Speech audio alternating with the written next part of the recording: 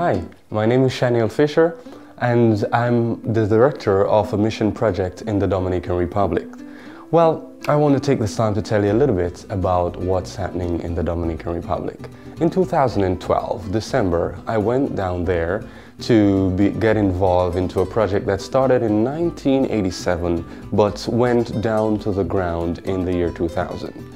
When I went, as you can see on this photo, everything was on the ground. The buildings were all taken over by trees, bushes, and uh, wasps, hornets, snakes, everything were on the inside of the buildings. As you can notice on this picture, it was really devastated. It was out and not in function.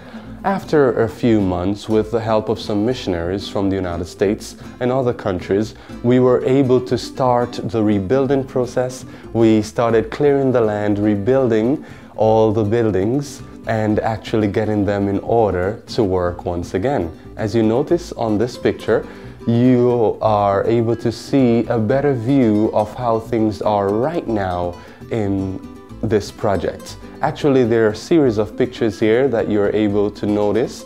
We have now planted fruit trees, we started the farm, the buildings are in function. We had a six-month school that was finished in December of 2013. In fact, how did this started?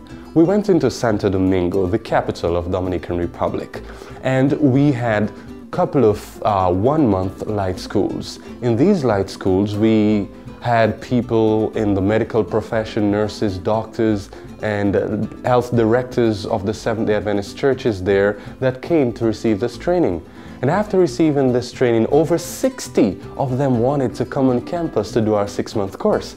Well, we were not able to take so many of them because majority of them didn't have the money to uh, pay for their course and we didn't have what it takes to really uh, take care of them during these six months. So we only had 18 students, which was such a great blessing uh, throughout these six months.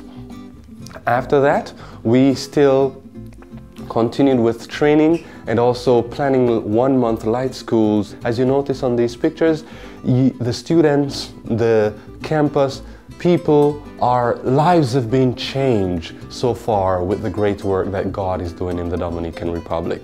We want to thank you for your prayer and most of all thank Light because Light has been so much involved in the work that we're doing there in the Dominican Republic. And you know friends, we have many goals in this project. We want to restore the Lifestyle Center. We want to have a little city mission. We call it a Vida Sana in uh, Santo Domingo where we can have health food store, restaurant and also a little treatment room working together. These are some of the plans. We are repairing our bakery, the building of our bakery and also to have a full education program in campus. Well, I guess that's enough for now. Stay in touch with us. We are able to provide you lots more updates of what's going on in this mission in the Dominican Republic. God bless you.